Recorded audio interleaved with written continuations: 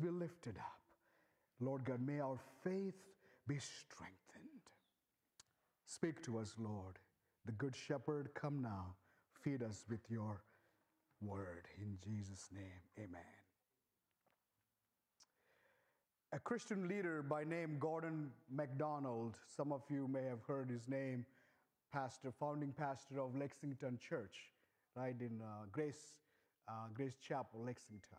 Uh, he shared a, a story, the following story, about how God transformed his view on giving from as something, an institutional obligation, to a cheerful giving. So God did some work there. How did that happen? He goes to share about the process of that. Him and his wife, Gail, they both went on a mission trip to West Africa. So on the first Sunday of our visit, he recalls, we joined a large crowd of desperately poor Christians for worship. As we neared the church, I noticed that almost every member was carrying something with them to the church. Some were carrying some cages of chickens. Some were carrying these uh, uh, uh, you know, the banana bunch. And some were carrying this basket full of eggs. And others were uh, cassava paste. And all these things they brought into the church. So Josh was wondering what was, uh, uh, Gordon MacDonald was wondering what was going on. So he turned to somebody, he says, I asked one of our hosts, why are they bringing all this stuff? Watch, she said. So almost every person in that African congregation brought something a chicken, a basket of yams, yams or a bowl of cassava paste. I saw that giving, whether yams or dollars, is not optional for Christ's followers. Not optional.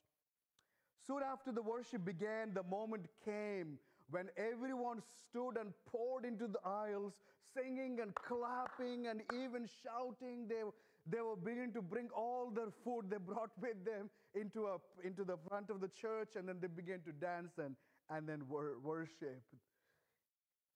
He says, I got it. This was West African offering time. The chickens would help others get a tiny farm business started.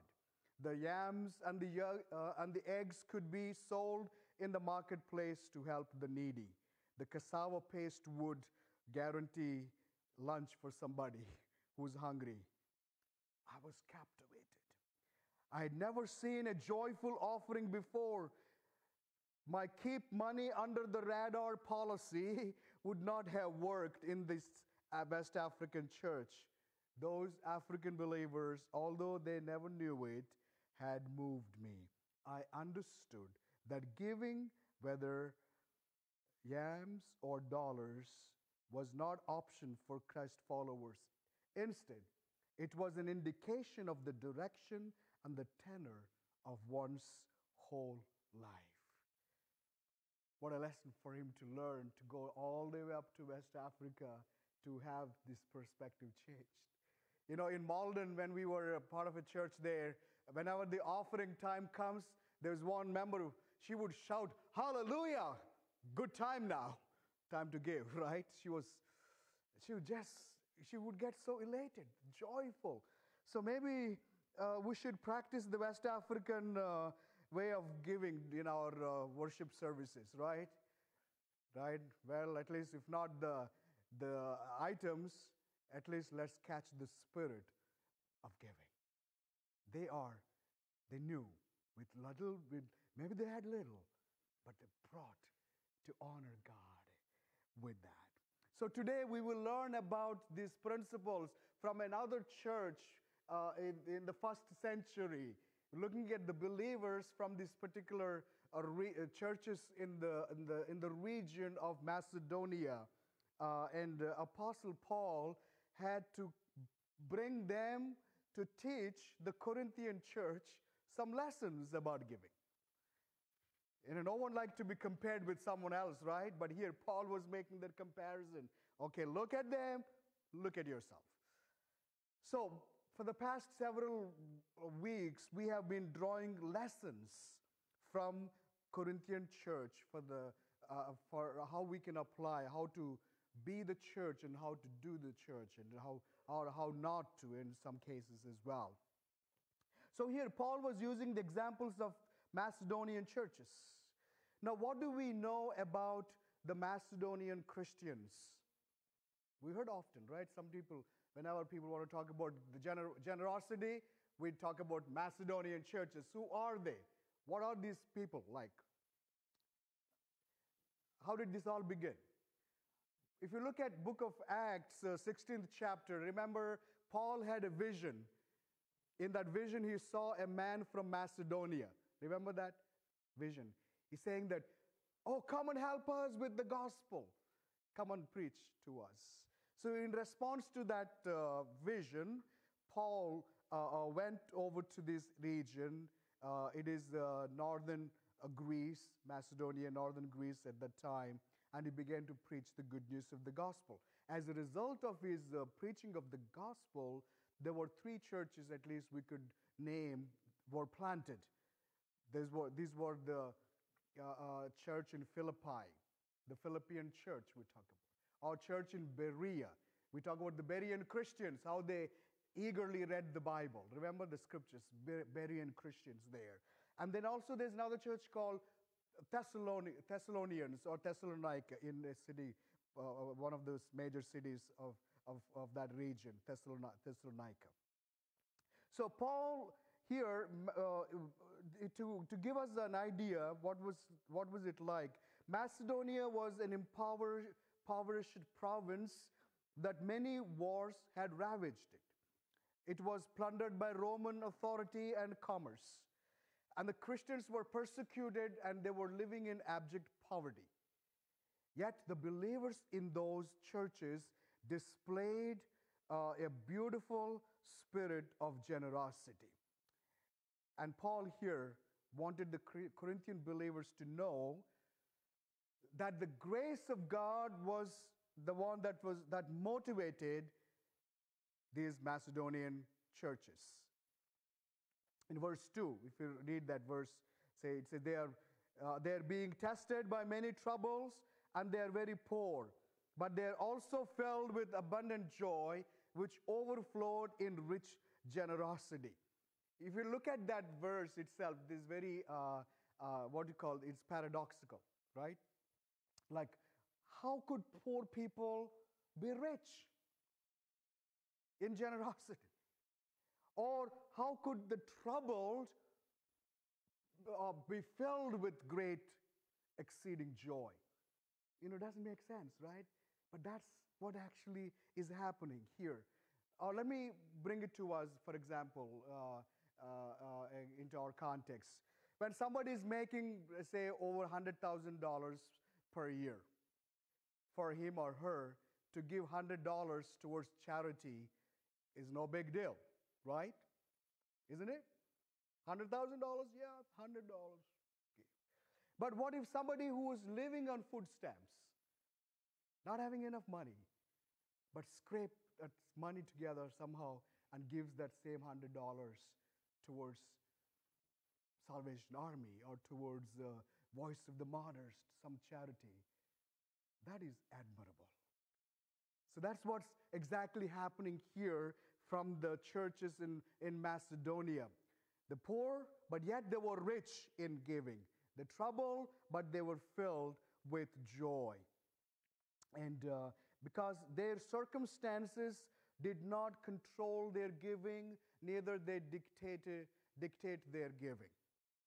Circumstances didn't play into, into, into their giving. And we saw some very un- unusual uh, practices of giving uh, mentioned here in the churches of Macedonia. Uh, uh, I was kind of fascinated as I was studying that one. What are they? Uh, it says, they gave what they could afford to give, right? That sounds like a reasonable giving. But they went beyond, it says. They gave beyond their ability to give. Hmm, that is something strange, rather, something uh, it's called faith giving. I don't have the money, but I want to give $500. Wow, where do I get it from? I'm not going to steal somewhere, but I'm trusting the Lord. Somehow God would give me. It's a kind of a faith giving that is. They gave beyond than what they could afford to give. How often do we see such qualities among people these days in our in the in our time? Something strange else strange is happening here. It says they repeatedly begged the apostles for the privilege of sharing the gift with the believers in Jerusalem. Sometimes, you know, when somebody appeals for, uh, uh, for uh, from donations and all that, we will be so uh, strict and stiff and say, oh, they're after my money. You know, that's what uh, sometimes my, uh, my daughter Tara tells me, you know, if she gets a, a letter for donations from Boston Trinity Academy, she would say, oh, they're after my money. Well, you know, she could say that little. She's, she didn't have much. But we can be so tight fisted and but here, what they're saying, they're, they're begging, please, please, could you give me that privilege of giving you, serving you? How many of us take that sort of a posture of begging? But they, not once, repeatedly, they begged, it says, the, the, the apostles for just an opportunity or a privilege of sharing the gift with the believers in Jerusalem. What was going on? Why they wanted to share with the believers in Jerusalem. Jerusalem, that's from Acts 11th chapter 27 and 30. If you read, there was a severe famine in that region, right? In the whole Roman province was severely affected by famine. There's no uh, um, uh, food and food shortage and all that. And here, these people, they're saying, we want to send gifts. We want to send some help to our brothers, believers in that area the Macedonian believers and others gave as much as possible and beyond their ability to help the poor saints in Jerusalem. That's why we call them the poor Christians, yet rich in giving. Macedonian believers, why did they do that? Because they saw it's not only a privilege to give, but they also saw it was their duty to give. It was their obligation to give. Why so? There are two things playing out privilege as well as an obligation to give. What was going on? Turn with me to Romans 15th chapter to, to put that together. 15th chapter, 26 to 27.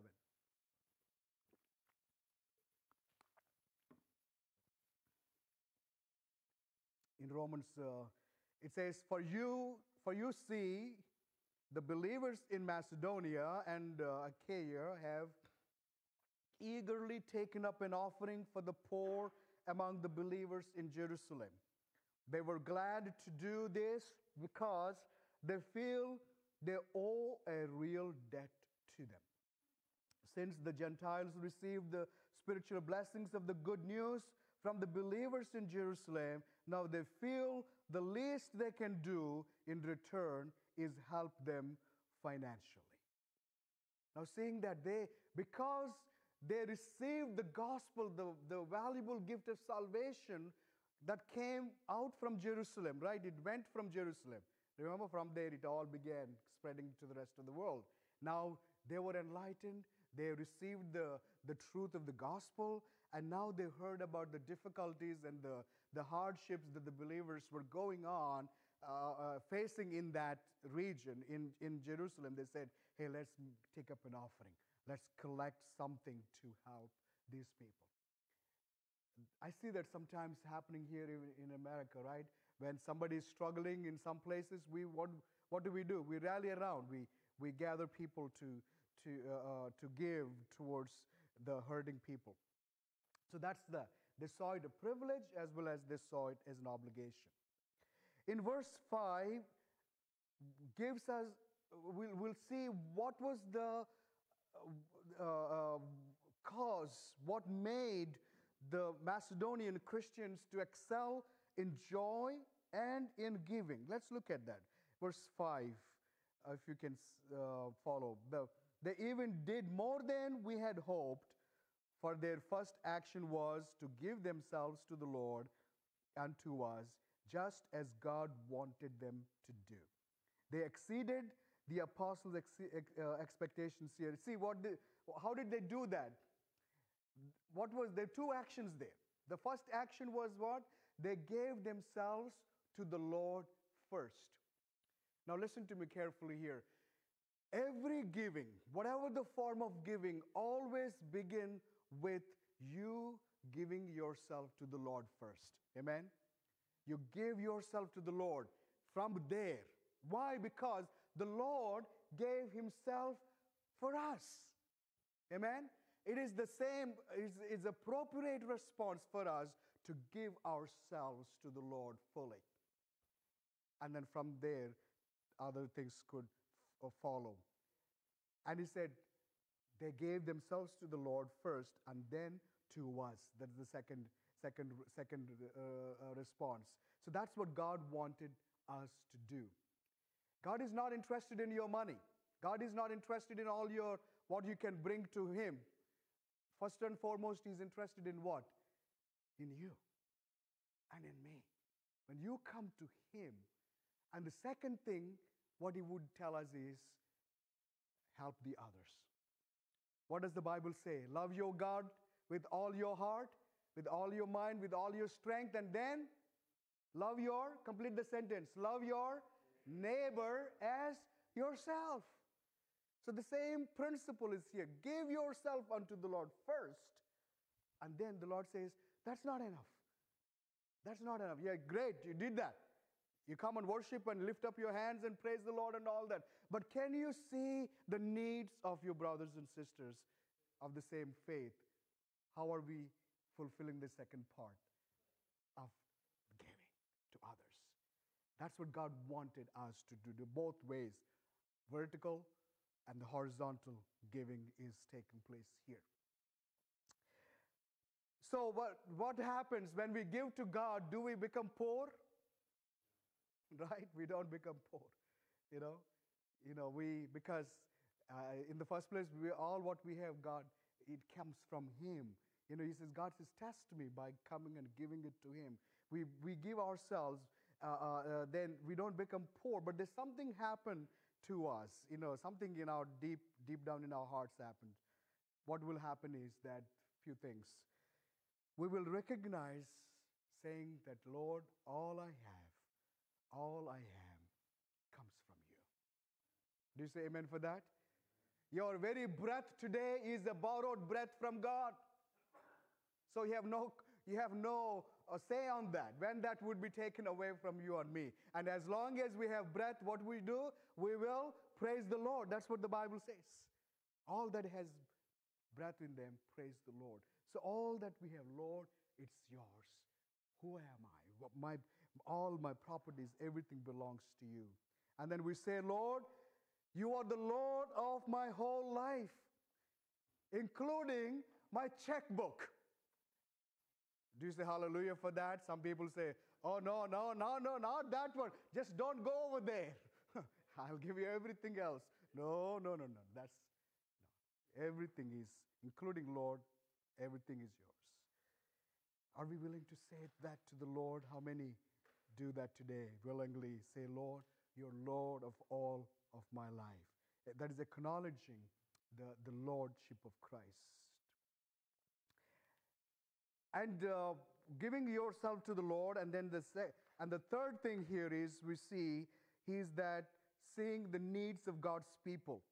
Like for example, here it says, when we serve God and the needs of God's people, God will meet our needs in, in return. Uh, uh, there's a principle that we can draw from the scriptures here, again from another church, from uh, the Corinthians. Uh, for example, turn with me to Philippians, uh, uh, book of Philippians, fourth chapter. Um, don't put the scripture there already. Just let me let us point out to something here. Um,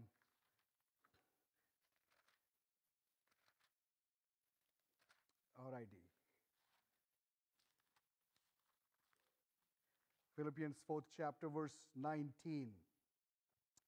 Verse 19, it says, And this same God who takes care of me will supply all your needs from his glorious riches, which have been given to us in Christ Jesus. Just look at that. My God, uh, uh, John, you just sang that song. What does that say? My God shall supply all my needs. Sometimes we, we take the scripture and then speak these things like cliches. My God shall supply all your needs, and we will sing, right? Yes, that is true, but when do we think that God supplying our needs will happen? Does it happen just automatically according to this particular pa- uh, verse?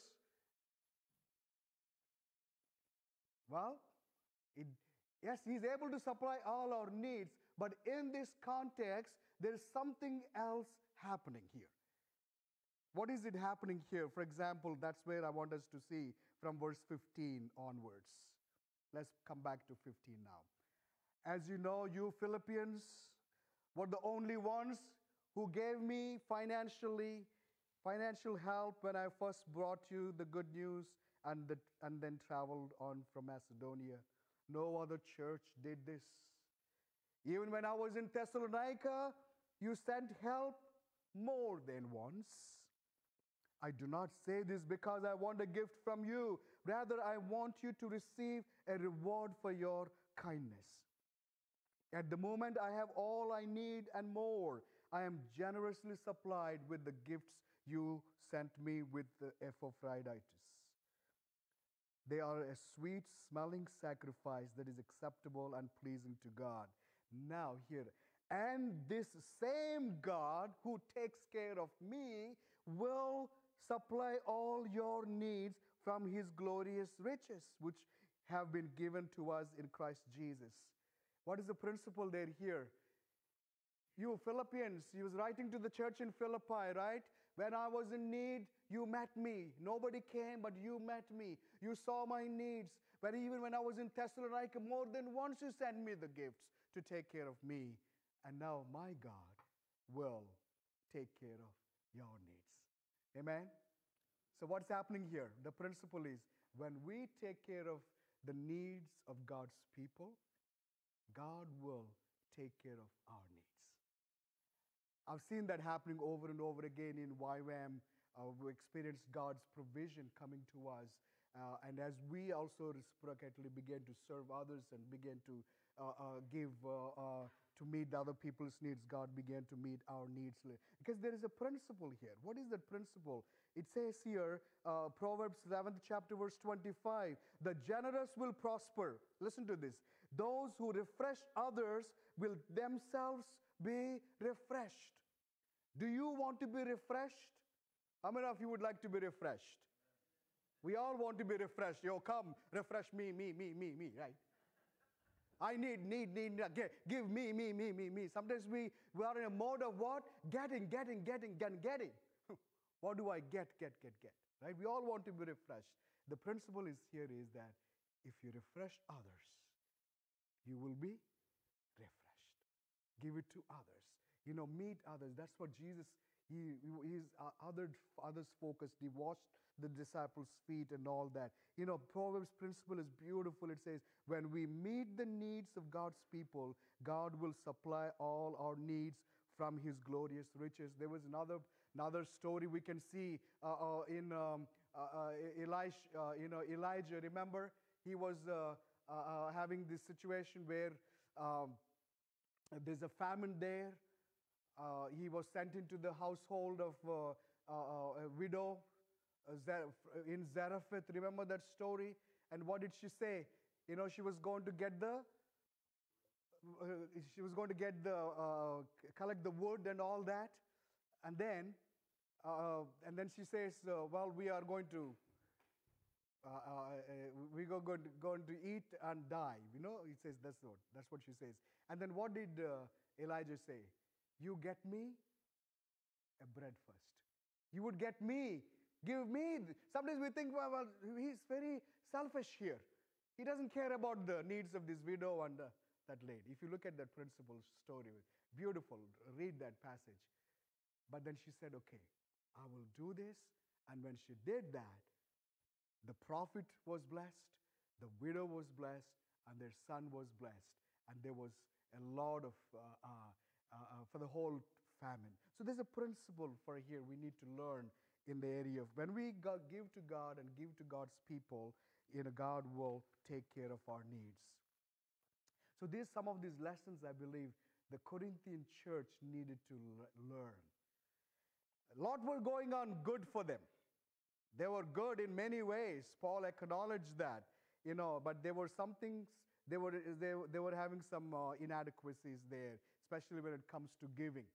It looked like the Corinthian church was doing well in many ways. Their scripture knowledge was great, like our Bible times.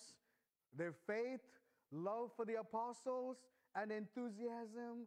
And also, they've got a lot of gifted speakers. Well, I tell our church has a lot of gifted speakers too, right? You know, and yet they were lacking in the area of generous giving. So that's where Paul was appealing to them that they should grow in the grace of giving. That's the title for this message the, the grace of giving.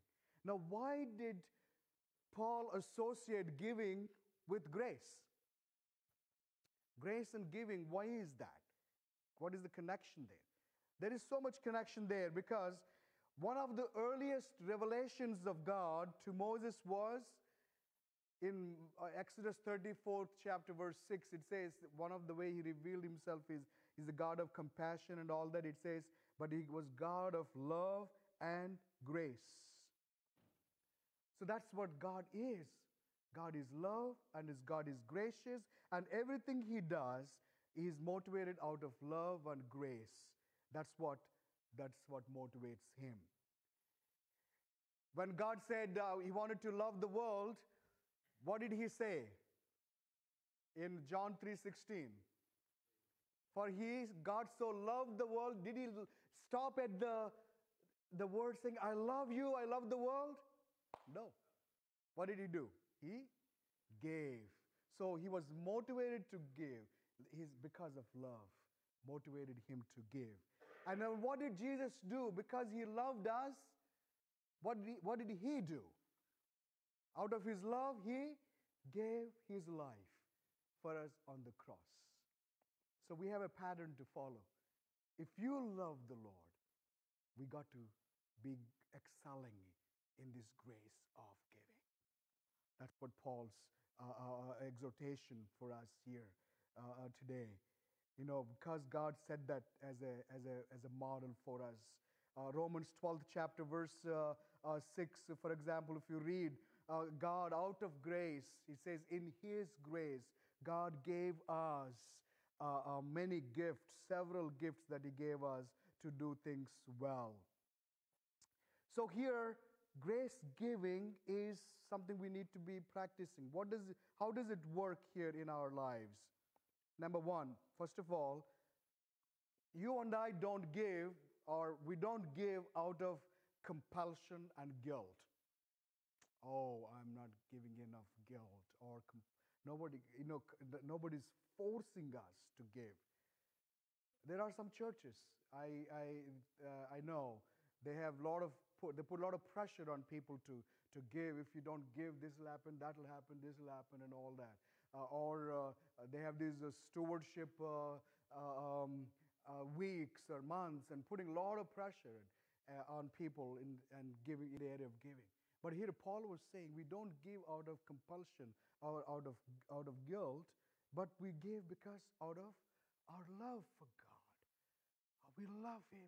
So that's when we because we give because he gave his life for us so we give do not we don't give out of compulsion but out of our free will no one is forcing us to give but we give freely thirdly we give not grudgingly but cheerfully remember the west african believers where there's so much of so much of noise going on dancing and going forward maybe we should do that next time when we are having this and then we'll, we'll uh, volume up a little bit and uh, dance. Uh, joyfully, we can bring our offerings to the Lord or, or, or, or give ourselves not grudgingly. Why do we do that?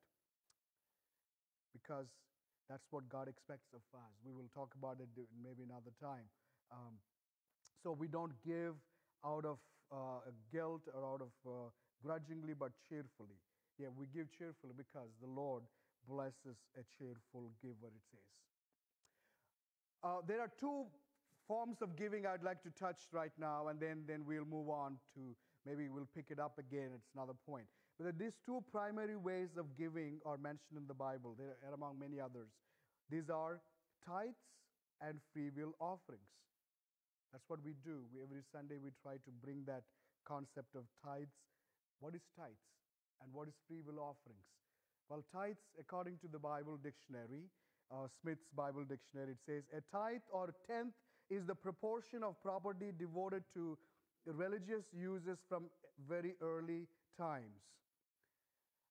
The tenth of our income, tenth of the properties, the tenth of the, the produce of the, from the field or, or, or the cattle in the, in the Old Testament that was required by God to bring it to the temple. Why? Because what, when it's brought into the temple, they, that, that would be used to meet various needs of the maintenance of the temple, uh, uh, taking care of the priestly family, the Levites, or uh, uh, using the, you know, to put the, the lights on. You know, they have to, temple need to have lights, right? The oil needs to be there, and the, the wicks and the lampstands and all that, and the, and the gates and all those things need to be in place. All that maintenance would come from that particular uh, po- uh, uh, pool. Even more so, the, the families of the Levites, uh, because they didn't have any uh, inheritance on the land, the portion. God made that provision uh, in that way. So, what happens when we give 10% of our income, my income, which Wilma and I, we have been practicing that uh, uh, from uh, very, very early. Even when I was there in YWAM, I, I used to do very methodically this practicing of 10%. If somebody gives me a gift of $100, let's say, the first thing I would do was to put 10% of that, $10 away. I, I used to have a, a, a tithe cover. Uh, In that cover, I keep putting it out. And then from that, I would go to church and give or, or to help some people who are in need. So 10% of our income, we bring it to the local church. That's where we are being fed, are being encouraged, be, uh, uh, supported in a family. So we use that when that comes in uh, to maintain this facility, right? Tom, we can, uh, can use some money to get this upkeep of this building or to pay the salaries, uh, pastors or the janitors, whoever uh, may be salaried in a church setting. Uh, and also we provide for the poor that are among us or, or the needy. Uh, or we support that uh, local missions or uh, our missionaries abroad so that the gospel will continue to be preached. So that's tithing. And free will offerings are anything above tithing after giving the 10%. Then we will have bring some other gift of offerings whenever there was a need. Say uh, there's a need in Dominican Republic, you know, we say uh, we'd like to support that, and then we give some free will offerings or towards uh, a deacon's fund or uh, for some special causes and so on. So these are some things that two, two of the ways we could use in uh, uh, growing in, in giving. Especially in the area of tithing, that's something we need to be paying attention to some churches don't talk about it. We know, I, I don't major on that, but it's a great principle that we follow from the Bible. Uh, uh, do, do, do you remember when was tithing first appeared in the Bible? Can anyone think? Abraham. What did Abraham do, Serena? King Melchizedek, right? Yeah, he was, uh, you know, in Genesis 14th chapter. Sometimes we say tithing is the Old Testament law, therefore we are free from the law, so we don't practice. Right, Jeff? What do you think? Did, did, the, did Jesus completely take the tithing away? No, right? He did not. Yeah, he, we expanded even to, to give not 10%, give your whole self, 100%, everything that we have. Uh, Uh, so if, if tithing was practiced even way before the law was introduced. Uh, uh, so Abraham was the first one, and Jesus would also continue to say, "Well, you do all these things, uh, uh, tithing. Yes, that's good, but along with the tithing, also be involved in justice aspects or or the merciful mercy aspects and all that." So let's if you have not been in the practice of tithing, let's continue, let's work on that. We could talk more about it. But I tell you, God would bless us when we when we give to the Lord. Uh, to begin with tithing, you know, the 10% of what we have, because all what we have is, is His. But this is the final thing I would like to close with. It is not how much you give, or is not what you give or how much you give, but what is your attitude? How is how do you give? Do you give, oh, I have to give, the, the, the offering plate is coming, so I have to put something. No, you don't have to put anything. You know, it's, that's what it says. You know, everybody must give what? As what they have decided. So tithing is a good principle that we follow, but it is not these commandments that, that are essential commandments uh, in comes to salvation. There are, there are commandments that are called uh, uh, uh, uh essential, you know, what do you call these? some doctrines. There's essential doctrines. Salvation is one. Salvation does not come anywhere else, only through, through, through Jesus Christ. But there are other non essentials. It could fall into that category, but there is a beautiful principle that we could apply, uh, uh, start of making that as a habit when we do that that would, uh, God would help us, that we will grow in the grace of giving. Is with everything else, we will grow in that. So, how many of us would like to grow in the grace of giving? Right?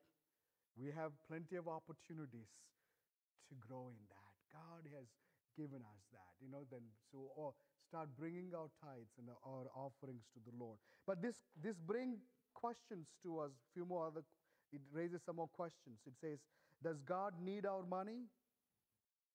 Uh, what are the other ways of giving besides giving money?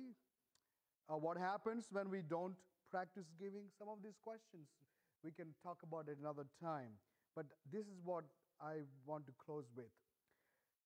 Giving helps me and us overcome three things selfishness greed, and discontentment.